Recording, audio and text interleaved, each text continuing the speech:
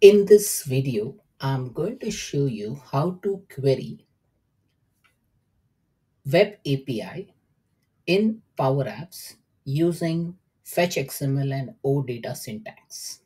Now, what is a Fetch XML? Fetch XML is basically a proprietary XML based language which is used to query the backend Dataverse table. Now, I'm in the Maker portal in Power Apps. So I will navigate to the tables and I'll open one of the uh, stock standard table available within the Dataverse, so called as contact.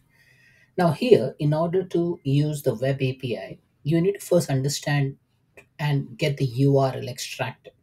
So in order to get the URL uh, for say specific table, say contact, now here, as you see over here, I can retrieve all the records in the contact table. Now this is in the interface, right? But how do how can we do it programmatically? So here you see something called as tools.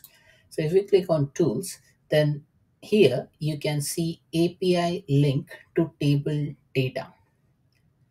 The moment you click on API link to table data, then it will open a URL. And if you closely watch this URL, this is basically your tenant name slash API slash data slash v9.2 slash something, right? Now let's uh, evaluate this URL one by one, and then we will go into the data part. Okay, so let me copy this URL and let me break it down for you. So this is, uh, I'm just pasting this URL in the notepad. So if you just dissect this URL, as you see over here, first is a protocol, and then there is this entire part is like the entire environment name for you. So Giri Dev is the environment URL, and then you have slash API slash data and v9.2, and then you have something over here. Now this part is called as a set name. Okay. Now how do you get the set name? So again, going back to the Maker portal, you can click on tools and copy the set name. So whenever API is called, it always references the set name. So I'll just copy the set name and paste it over here just to show you. You see, this is the set name. So slash contacts. So if we take this URL and if we just type slash contacts, then what it will do, it will retrieve all the contacts record within your application. So this is how you can query. Now, the goal is basically to use fetch XML query. Now, in order to do a fetch XML query, we need to uh, first extract the fetch XML item. Now, so take for example, uh, let me show you in for another table. So I have this table called as uh, world app. Okay. Now world app has world table in it and it has uh, account and contacts record in it. So if I click on contacts, you can see there are eight record in my active contacts. And if you click on all contacts, you will see more records, 17 records. Now let's uh, run a query. Now here, uh, if I see over here, I can see that there is an email address which has someone in it, or maybe it has, there is some email address which has gmail.com. Okay. Now I can click on edit filter over here and I can say,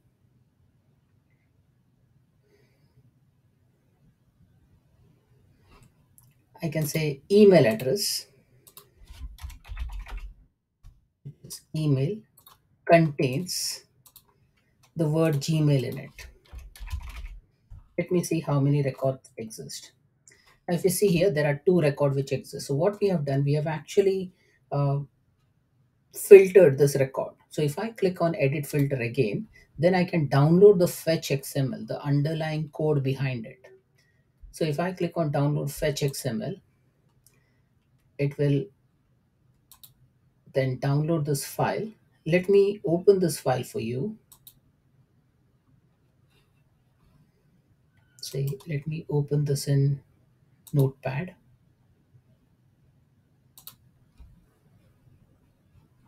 Or maybe Visual Studio Code, that's fine for me. I'll just say, okay. and then it will open Visual Studio Code for me. Now here, let me zoom this a bit and let me just do a right click and yeah. So this is how the fetch XML will look like. Okay. Now the fetch XML, which is generated over here, uh, is basically a query. Okay. So if you see here, fetch version 1.0 format mapping, no lock, and then it will talk about entity, which entity you're referring, and then it will say which attribute you're referring and what kind of attributes you want. And here, these are set of attributes which will get uh, generated based on the column which you have already selected in the while building those fetch XML. Now this is a filter attribute which says when the email address is uh, like gmail.com and then this is how it has generated the query. Okay, so the R condition was basically email address uh, like Gmail. Okay, like it says it contains Gmail in it. Okay, now what we can do, we can take this entire query and we can uh, run this in the browser. Okay, so uh, let me copy this. So what I'm gonna do, I'm gonna I'll, I'll not save this. Okay, I'll just copy this as it is and I'll show you what happens if you run like this. Okay, so in order to run a fetch XML query, what you need to do, you need to just type in the URL which we just copied over here slash API v9.2 slash contacts till contacts.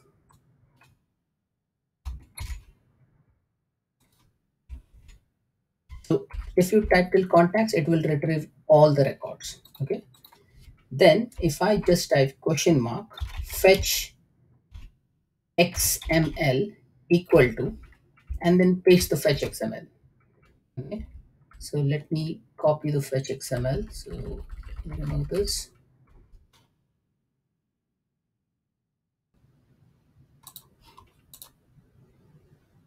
So if you copy this fetch XML, then let's see what happens. Okay. Now, if you see here, it has executed this fetch XML and it has given you only two rows. Now, why it has given only two rows? Because it has executed this fetch XML and the fetch XML has a criteria condition which says that the email address contains Gmail in it, then only retrieve those records. Now, if you want to view this record clearly, as, as you see over here, this is not pretty much readable because this is in a JSON format.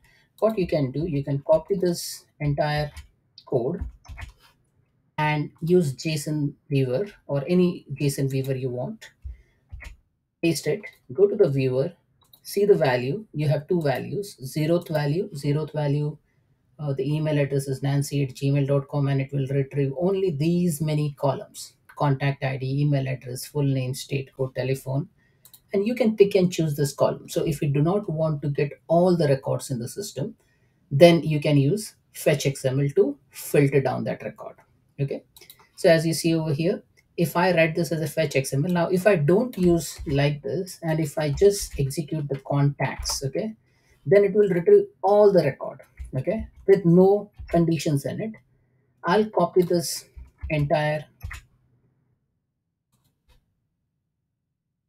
json and now paste it and see how many record it returned so as you see over here it returned almost 17 records now it retrieved all the record and if you see from a column perspective, it has retrieved all the column as well, which is quite inefficient when you use a programming language to uh, retrieve the data because those all fields you may never use in your application. So it is always advisable to cut down the column name which and restrict to whatever you need from a schema perspective and also from a data perspective, you're going to filter that based on some condition which we have already accomplished using fetch XML.